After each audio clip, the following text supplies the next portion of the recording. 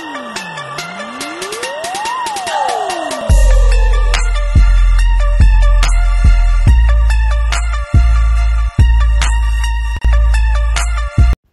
Hi welcome to my channel. It's your girl Kimmy. Please remember to subscribe, like and share. So today I just want to take you on a journey on how we make the Style Nation castor oil.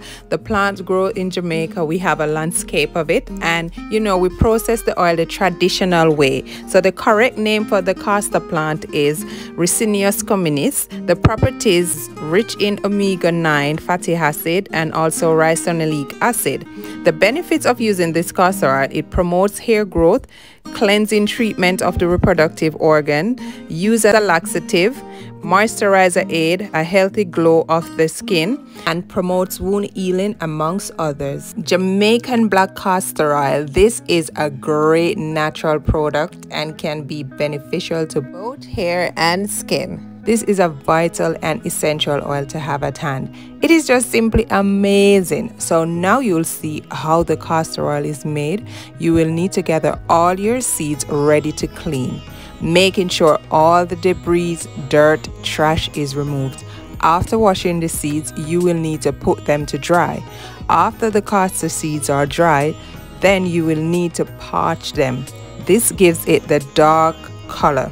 You will then need to beat the castor seed until you see oil extracting from it. This is the mortar and stick they use to beat the seeds until it becomes gummy.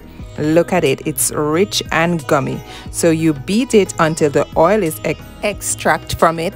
Then you are going to add boiling water to it for several hours.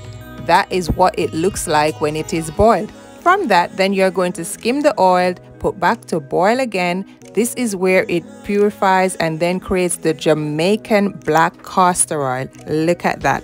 That's the process. I'm sure there are several other ways of making castor oil. This is how we create the Style Nation castor oil and now it is ready to use. So now I'm preparing the oil for sale. This is what the oil looks like. Lovely castor oil. It's good for dandruff, dry scalp. It's good for treatment or just to grow your edges, especially if you wear lots of wigs. There goes my brown bottles. And now I'm going to pour the castor oil and then I'm gonna put the label on them it could be coconut castor oil pure castor oil few people don't like the smell of the castor oil but this guys is rich and it works best when it's pure and natural. You could add essential oils to it just to flavor it up but it's just up to you. It's you know it's a preference. Jamaican black castor oil is a thick oil and this can mix with other oils or other products this is the bottle and it is very easy to use. All you need to do is to remove the lid tilt the bottle apply it onto your scalp. Make sure you apply it all over your head. Um, then you're just gonna massage that in and make sure that the oil spreads. So it's important you just massage it in. Or you could just pour a little on your hand the back of your hand and then apply it on your scalp. It's really easy to use Thank you to all my Style Nation stunners. Thank you for watching this video. Make sure you subscribe, like, and share. Look out for my other videos coming your way. It's your girl Kimmy, and I'm out.